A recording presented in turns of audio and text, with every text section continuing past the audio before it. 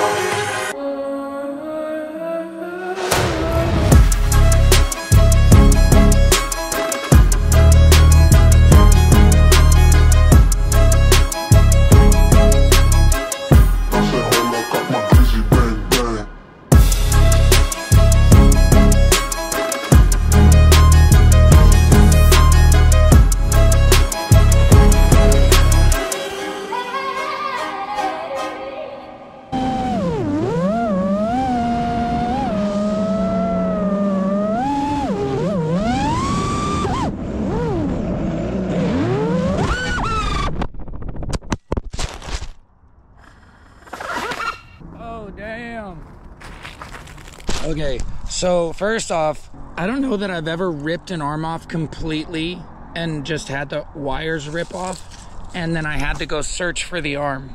The second part you might have already noticed is the GoPro is no longer attached.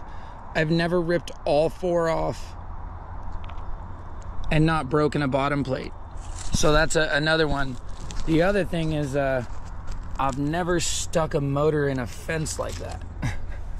Which, by the way, the motor is still still good.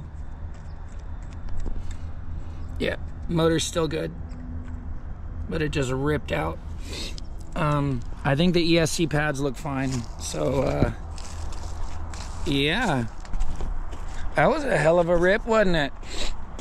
Man, this quad feels so good. I'm sincerely excited to go home, throw an arm back on this bitch, get her soldered back up, and just send her back out. I give this build a 10 out of 10.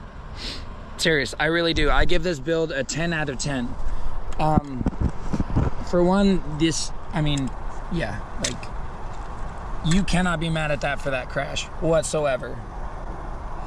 Uh, let's plug her in, make sure she's still alive. All right. I think she's still good. Let's see. Yep. There she is.